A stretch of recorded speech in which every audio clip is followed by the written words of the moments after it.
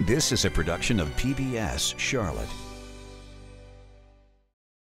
Just ahead on Carolina Impact. Most of us know how to recycle, but are we doing it the right way and could we improve? Coming up, ways to save your tax dollars. A local manufacturing institute helps to fuel the talent pipeline. I'll have that story coming up. Plus, it's a sport where players slide stones on ice. In tonight's one tank trip, grab a coat. We're taking you curling. Don't go anywhere. Carolina Impact starts right now. PBS Charlotte presents Carolina Impact, covering the issues, people, and places that impact you. This is Carolina Impact. Good evening. Thanks so much for joining us. I'm Amy Burkett.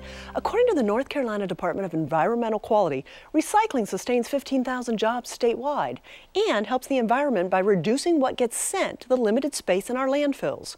As Carolina Impact's Jeff Rivenbark explains, not recycling and not recycling the right way could cost you more money. One by one, trucks back into the Metrolina Recycling Center in North Charlotte. Mecklenburg County owns the facility and Recommunity Recycling operates it. A front end loader scoops everything into a hopper, which sends bottles, cans, and paper onto a fast moving conveyor belt. In the pre sort area, Michael Kilgo and dozens of sorters constantly scan, grab, and remove items like plastic film that could clog up machinery. Kilgo can't believe what homeowners toss into their recycling bins. I don't think they actually realize that most of the stuff is being recycled. They use their recycling bin as sort of a trash can. If something like a metal car part or a lawnmower blade slips by unnoticed, plant manager Tim Owen says it could shut down the operation for hours. It causes uh, a lot of damage to our machinery when it comes through. It gets caught on in shafts and the components that are moving, it just locks them up tight and a lot of times it will break them or damage them. So, so we have to replace them and uh, it's caused us a lot of downtime issues. Not to mention, put workers at risk. The Metrolina Recycling Center processes more than 400 tons of recyclable materials daily, most of which comes from Charlotte, as well as the six towns throughout Mecklenburg County. And the municipalities in Mecklenburg County actually collect the materials and we process the materials. We actually take them and we bind them together and we find markets or places for those materials to go. The recyclables pass through a series of rotating magnets, optical sorters, and chutes where paper, plastic, glass, and aluminum items are sorted, compacted, and baled before being sold to recycling markets worldwide. Dave Lank is a director of operations for Recommunity Recycling. You name it, and he's seen it. Every ton of material that gets recycled is a ton that doesn't have to be buried in a landfill somewhere. Every time we recycle a piece of paper or a plastic bottle or an aluminum can, we save energy, we save natural resources, and we actually save the community, ultimately you, money. On nearly any day of the week, you'll see recycling bins lining the neighborhood streets across Mecklenburg County. Those green containers may lead you to think that nearly everyone is recycling, but that's not simply the case. Between 40 to 50 percent of Mecklenburg County residents do not recycle. I think about 150,000 to 200,000 tons of materials that are currently going into landfills could actually come here. Charlotte homeowner Calvin Kinley says recycling has become a habit. It's just one more thing you do. McKinley says it's troubling to hear that so many others aren't even bothering to recycle. Landfill space is going to be getting real short 20, 30 years from now. Where are they going to put it? Back at the recycling center, about 12% of what ends up here isn't recyclable and has to be taken to the landfill. So I decided to have Dave Lank look at my recycling bin. A wire hanger that's not in the program. We can't take that material. And that can get clogged and caught in the machine as well. The second item was this notebook I thought could be recycled. Dave suggested putting that in my household garbage, along with the third item, this paper cup. Unfortunately, coffee cups are not recyclable. Really? Why? And that's a that's a kind of an odd thing that a lot of people don't know. There's a layer of plastic in the middle that you can't see. So the people that recycle paper that we sell to can't use this. So they don't want to see coffee, paper coffee cups. So Starbucks cups, that kind of thing, are actually not recyclable. He also found a plastic grocery bag and a section of a rubber hose. That's a no-no, both of those. For every 100 tons of recyclables processed here, about 12 tons of non-recyclables are taken to the landfill near Charlotte Motor Speedway. Last year, Mecklenburg County Solid Waste paid more than a half million dollars in landfill and transportation fees. We owe it to ourselves, we owe it to our children, because sooner or later, no matter how big a landfill is, it's going to fill up. And then there's going to be the question, where do we go next? Once the landfill in Cabarrus County is full, Mecklenburg County may have to transport its garbage and all those items we're not recycling even farther away at a much greater cost to taxpayers. For Carolina Impact, I'm Jeff Rivenbark reporting. Thanks so much, Jeff. Check the recycling program in your area because what's recyclable depends on which facility processes your recyclables. For more recycling tips, visit our website at pbscharlotte.org. When local manufacturers struggled to find skilled workers, leaders from Rowan and Cabarrus counties came together to find a solution forming the North Carolina Manufacturing Institute. The program helps companies improve productivity and profitability by building a talent supply chain. Carolina Impact's Danielle Koser introduces us to some recent grads.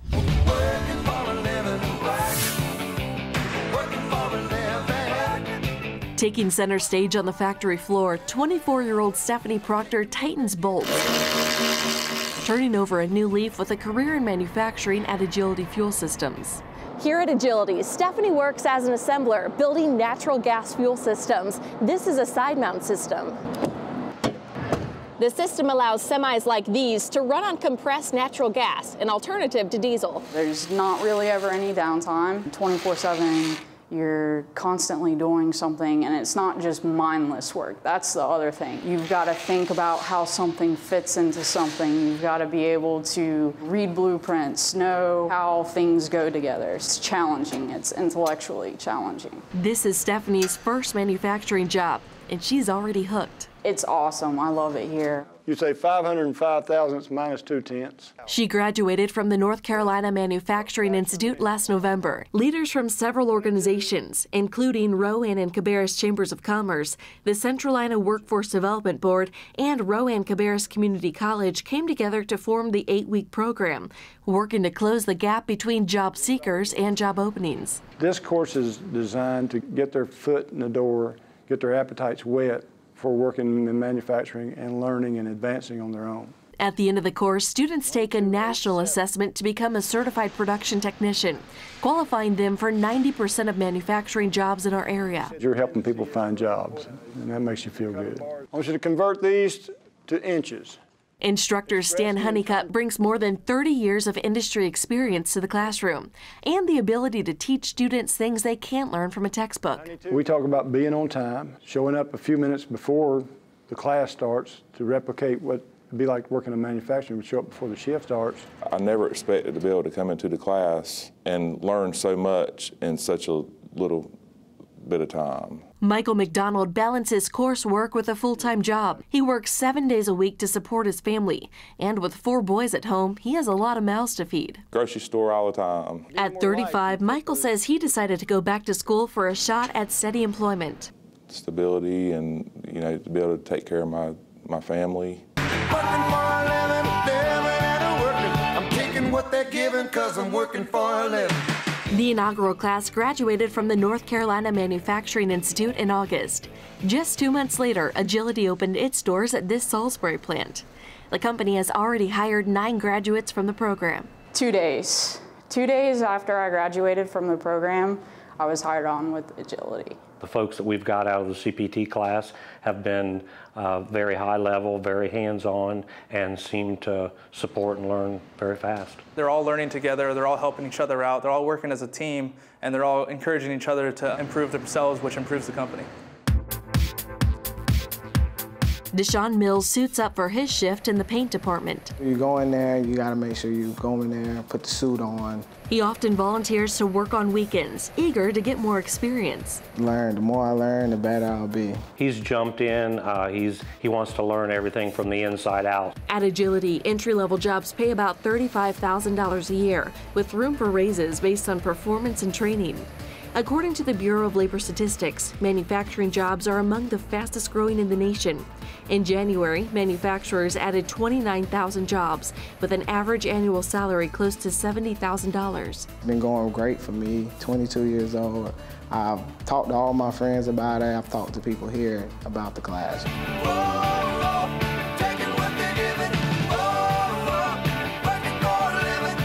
Stephanie Proctor says the program provided her with more than a job. It gave her a second chance, reigniting her passion for learning. She plans to go back to school to earn a degree in industrial engineering. My parents raised me to believe that education is extremely important, and they always told me um, no one can take that away from me. Day in, day out, Stephanie and Deshaun take pride in the work they do for a living, grateful for a fresh start and a career that offers stability and room to grow. For Carolina Impact, I'm Danielle Koser reporting.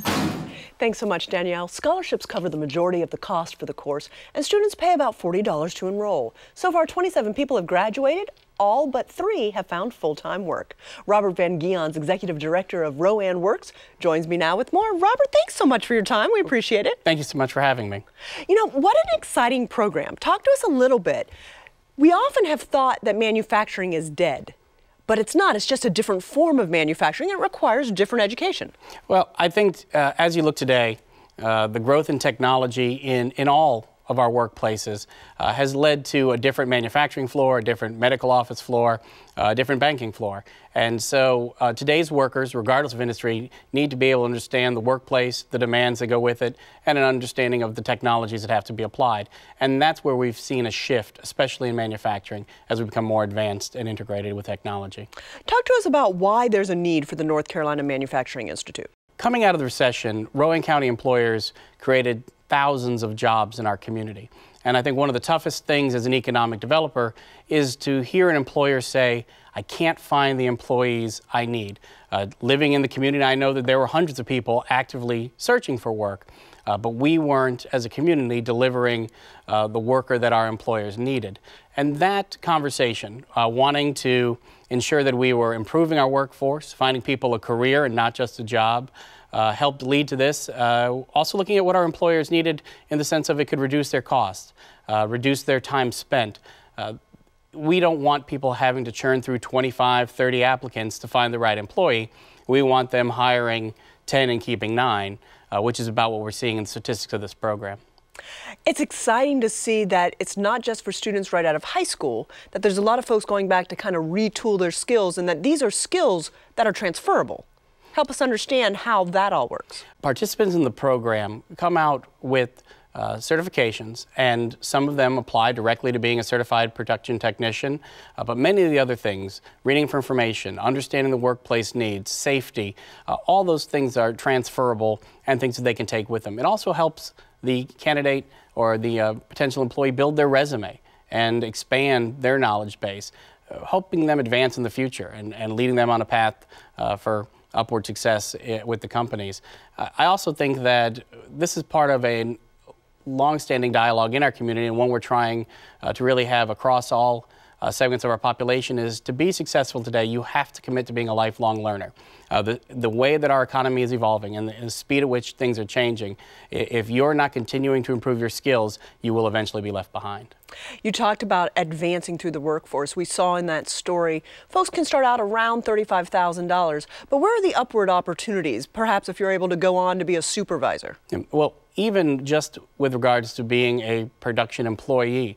Uh, many of these employers, while they start at that rate, uh, as you add skills, or even with a relatively short time, a matter of a year or two, you can see that grow uh, rapidly from 35 to 40 and above. And then as you move up, uh, or even move into other production jobs that may have higher technical skills, you can see pay $65,000, $75,000. Supervisors and uh, those that move into higher level management positions easily earn uh, in over six figures. So there's great potential uh, for someone, I, and I think that's one of our goals is to improve our workforce's future opportunities as well as their current employment situation. And it is kind of that upward mobility. Many folks who are used to the old style of manufacturing, you just had one job and you stayed in that for 30 years, and there wasn't as much upward mobility, but you're seeing a lot more of this uh, just starting somewhere and moving on? Well, and when you look at statistics of uh, all employees across sectors, the odds of going into a uh, taking your first job and lasting there 30 years and taking retirement uh, are, are, slim to none practically. So you need to be flexible. Uh, you need to be adaptable. And employers want employees that can be cross-trained, uh, that can take on challenges, that can learn in the workplace as they bring in new equipment or new products online. And I think that's what this program provides a, a very firm foundation of. Uh, it helps an employee uh, understand where they're at, where they can be uh, improving their skills, but also gives them some diverse knowledge that will help them in future jobs as well. Robert Van Geons, Executive Director of Rowan Works, thanks so much for sharing your information and this story with us today. Thank you very much. I enjoyed it. You know, sometimes the most difficult challenges bring us closer to those we love. Our next story is about a couple who had successful careers, but after moving to Charlotte, they encountered a devastating health problem.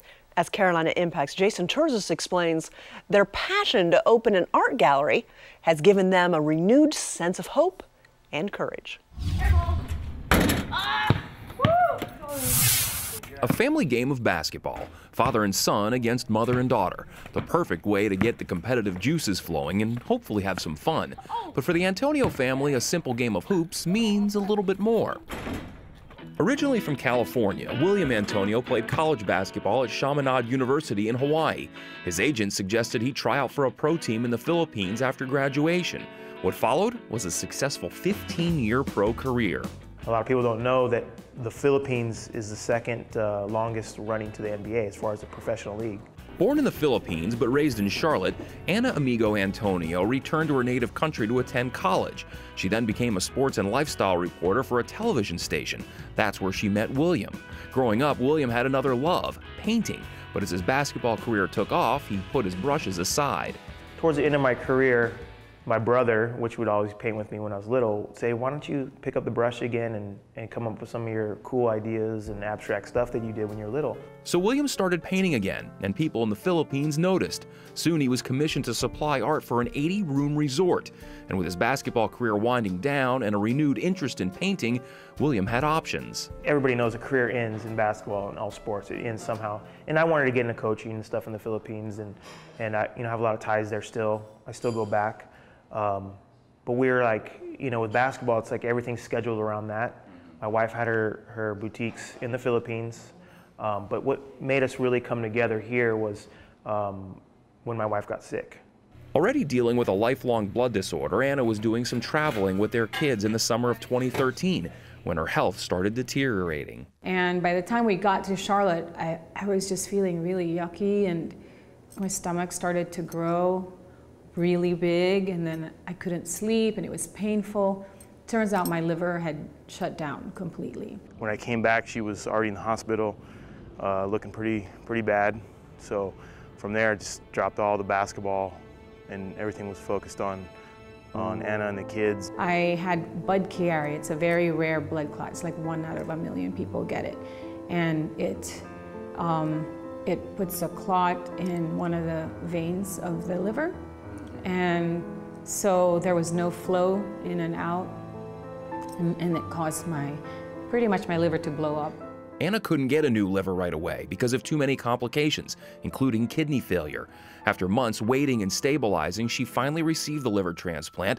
She spent half the year in the hospital. You see so many people um, just supporting youth, sorry, like supporting you throughout, throughout all that and seeing like all the doctors like doing their best and just family everywhere and friends everywhere, just sending prayers. The recovery process was long and painful, but thanks to faith, family, and friends, Ana pulled through. More than two years later, she's doing much better now, but still goes for weekly blood draws. Yeah, it was a tough time, but you, I saw all the beauty the world can offer. Now back living in Charlotte full time and raising their two children, the Antonios began a new chapter in their family's history. Combining William's love of painting with Ana's love of entertaining, they opened up the gallery last summer in Charlotte's South End. It features coffee, wine, made to order sandwiches, Lady M cakes, which are flown in from New York, and of course, Williams art. I enjoy doing abstract stuff. I like to get ideas from what I see, uh, landscapes, sunsets, and then just kind of play with the paint. I think this has been very therapeutic. It's helped me heal. With roughly half of all startup businesses failing within the first five years, getting things up and running is a major challenge. But compared to what the Antonio family has endured, they say maintaining the gallery is a snap. All these things, the business, and my art, selling the art, the, you know, the gallery, with Ana's situation, we all had to learn how to make it flow and make it work. Otherwise, it's, it'll be really tough. There's nothing that is thrown at me since then that I know I can't handle. Like I guess like in a game situation, you got to learn how to adjust. And if you don't adjust and you point fingers at everybody, then you lose the game. And in the game of life, it's, it's similar. The Antonio family continues to prove that it can win on the court, in the operating room, and at the game of life. For Carolina Impact, I'm Jason Terzis reporting. Thanks so much, Jason. The gallery is open seven days a week and available for evening parties, art showings, and other functions. Well, how much do you know about curling? You might have caught a glimpse of it while watching the Winter Olympics. All I knew about it before watching the story was it looked pretty funny. And if you've ever wondered why do they sweep the ice, you're about to find out. In tonight's One Tank Trip, producer Russ Hunsinger explains more about this sport that actually started in Scotland, but is gaining popularity here in the usually sunny South. Slip sliding away. We drove just over two hours to get here. Slip sliding away. Well, I've seen it on TV a couple times at the Olympics. Sweep, sweep, sweep, sweep, This is sweep. my first time. It doesn't take long at all to pick up the sport. Here it comes, here it comes. Sweep, sweep, sweep, sweep, sweep, sweep. It takes years to really develop the finesse with it. How many Canadians in the group? I grew up in, uh, in Brandon, Manitoba on the prairies in Canada and uh, curling. From a curling family, everyone curled. Sweet! I have four children. One, two, three. Good job. And, and they've never curled before. I'm very pleased to have this opportunity to share this with them because I love the sport. Who would like to try first? Today we had to learn to curl. Okay, here it comes. And it is the best opportunity to get started with curling because it gives you an hour and a half on the ice of just experience, basic experience of learning to deliver the rock. Nicely done. Having a chance to sweep. Sweep, sweep, sweep, sweep, sweep. Having a chance to slide down the ice. Slide, leg back, stay down low. Good job, good job, good job. And then being able to see what it looks like and, and the effort it takes to really get a 42 pound rock to go from one end of the sheet to the other. Curling is a sport where you throw rocks, tur curl them down the ice, and try to score points. Sweep it to the broom, nice. You know, curling is a game of strategy. It is certainly a game of balance. Look at it go. She's down. One is down. Technique. A lot of people call it shuffleboard on ice. Throw a rock and sweep it until you score, if you can. Basic rules is that there are four players on a team. They take turns, they rotate, either the delivery position or the sweeping position. There's a person at the other end of the house that's calling the shots and giving the strategy. There you go, beautiful. The house is the big bullseye. There could be a lot of different colored rocks in the house, but the closest one to the very center of the button, the very center of the bullseye, is the one that really determines who's scored. Nice release. Very It's a lot harder than it looks. It looks like you just throw the rock down and you'll make it down there, but it takes a lot more effort to get it all the way. The tricky part is just sliding. You got to make sure you got your balance in order, and then you just you're just throwing rocks down the sheet of ice, and you just got to figure out how hard you throw them. So when you're sweeping, okay, you're gonna walk sideways. Sweeping makes the rock go faster and straighter. So when the skip gets very excited and they're calling the sweep, sweep, sweep, sweep, sweep, bring it's it up. because they found the right line and they want to keep it on that line to make it go to the exact spot where it's supposed to land. You know the nearer destination, more you slip sliding away.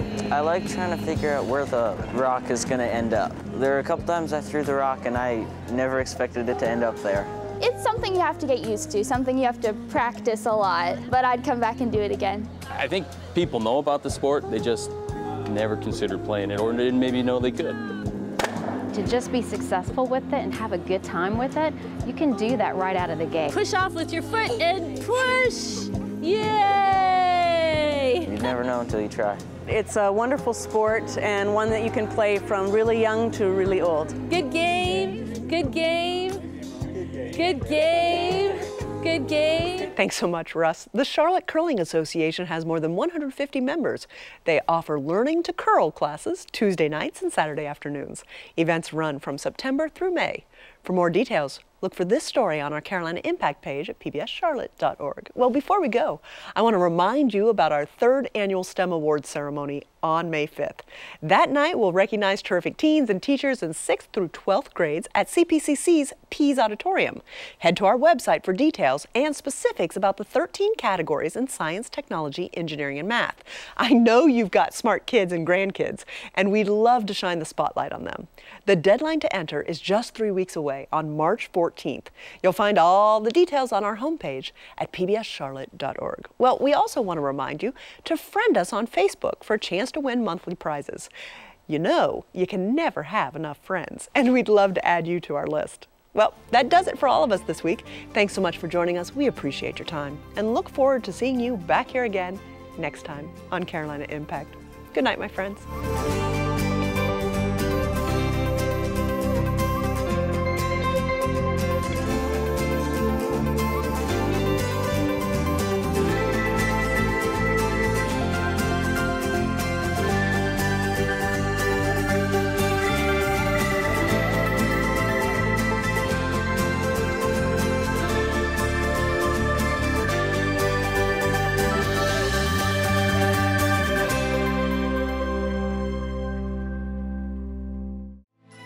Production of PBS Charlotte.